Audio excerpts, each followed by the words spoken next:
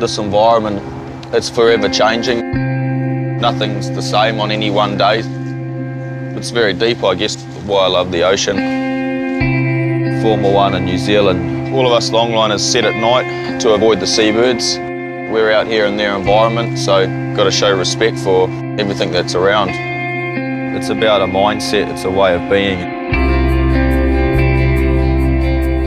All of these guys have been to the workshops and then they go after that up the top of the mountains and get to touch the chicks, help the scientists learn about it, uh, just get you know, one-on-one and that sort of creates a bit of a bond.